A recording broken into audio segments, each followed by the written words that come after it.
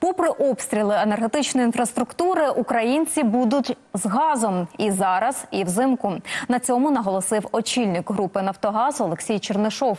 За його словами, попри воєнні ризики, національна компанія забезпечує стабільне газопостачання всім своїм споживачам. А це понад 12 мільйонів домогосподарств.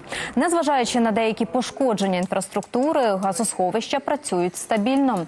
Наразі туди планово закачують газ на зиму. Пошкоджені об'єкти відновлюють, а їхній захист посилюють. Самі ж запаси блакитного палива перебувають в цілковитій безпеці під землею в природних порожнинах на глибині в кілька метрів, кілька кілометрів. Складніша ситуація з газорозподільними мережами поблизу лінії фронту. Там внаслідок регулярних обстрілів страждають прибудинкові та будинкові газопроводи. Однак навіть у прифронтових районах газівники оперативно лагодять мережі і повертають людям газопостачання в найкоротші терміни.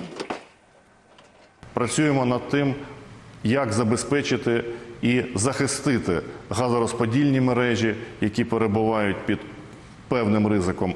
Але маю запевнити і заспокоїти українців. Україна буде з газом, газу достатньо, тепло та газ буде постачатися в оселі протягом опального сезону.